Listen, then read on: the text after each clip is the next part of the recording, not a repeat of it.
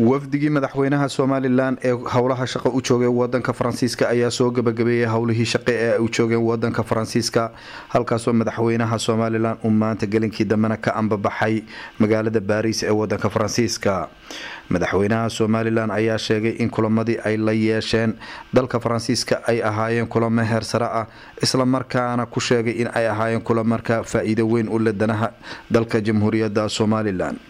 madaxweynaha jamhuuriyadda somalilan mudane axmed maxamed maxamuud silaanyo uu telefishinka qaranka somalilan uga waramayey waxyaabihii u qabsoomay intii ay ku sugnaayeen wadanka faransiiska ayaa waxaa ka mid ahaa madaxweynaha ereyadiisi sidan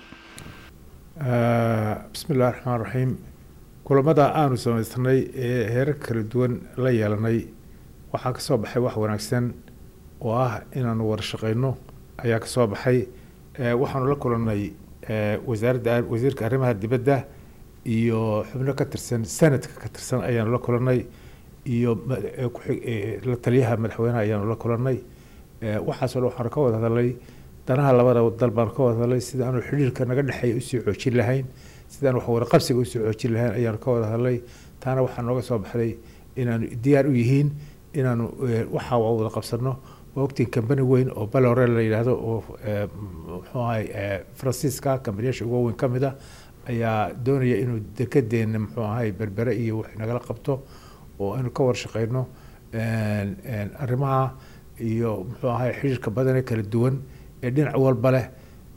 ayaa loo baahan yahay in wadan inagoo kale ah oo baahan dalalka dunida u baahan iyo waddamada iyaguna deeqda bixiya danaynaya maanta gobolka aynu ku noolahay iyo mustaqbalka uu leeyahay iyo mantaqada aynu ku noolahay iyo xasiloodasoo deganaanshaasoo inay ka faa'iidaystaan qudhidoodu ayaa muxuu aha aynu doonaya in inaguna ka iibino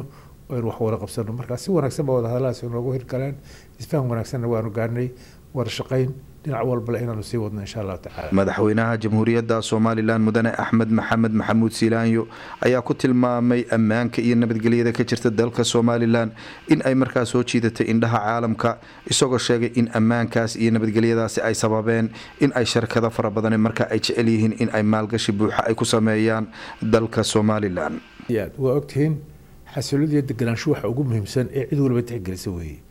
somalilan waxay ku caanbaxday oo magac ku yeelatay oo sharaf ku yeelatay xasiloonida deganaansha haysato dimuqraadiyadda haysato soo dhaweynta ay soo dhaweyso maalgashiga dibadda iyo dadka doonaya inay wax la qabsadaan intaba marka arrimahaasi wax weyn bay taraan mustaqbal wanaagsan iyo inu caalamka aynu engage garayno ama aynu wax la qabsano ayay inoo soo inoo horseeraysaa oo ay nagu sii dhaweynaysaa maalma maalid ka dambeysa dhinaca kalena wakiilka somalilan ee dalka faransiiska oo madaxweynaha somalilan ku sagootiyey garoonka weyn ee baariis ayaa waxa uu sheegay in safarkii uu madaxweynaha somalilan uu ku yimid dalka faransiiska uu guulo fara badan ay ka gaareen. Marka ku-xiga waftigii dee sidan ayaantii horeba u sheegay aada bay maaragtay si fiican ay iisoo gaadheen howlahayagiina si fiican bay noogu dhaceen. Wixii maaragt meeshaa ka soo baxay. De horta wixii ummaddu way aragtay wixii aduubteed dirtay. Wixii kalena madaxweynaha iyo wasiirka arrimaha dibadda afhayeen wafdiga u ahaabaa ama golihii wasiirada iyo shicibkiiba ka sugayaanoo siin doona. Markuse waxaan aada baan ugu faraxsanahay.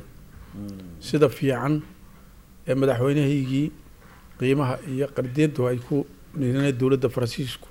aad baan ugu mahadnaqayaa yaa sida loo sharfiyey. Guud ahaan safarkii madaxweynaha somalilan uu ku yimid dalka faransiiska ayaa ahaa mid si weyn loo soo agaasimay islamarkaana gaadhsiiyey meeqaam sare. Madaxweynaha somalilan iyo wafdigiisa taasoo ahayd markii ugu horeysay taariikh abid in sidan loogu soo dhaweeyay madaxweynaha jamhuuriyadda somalilan dalalka qaarada yurub. Dalmar telefishinka qaranka somalilan magaalada baris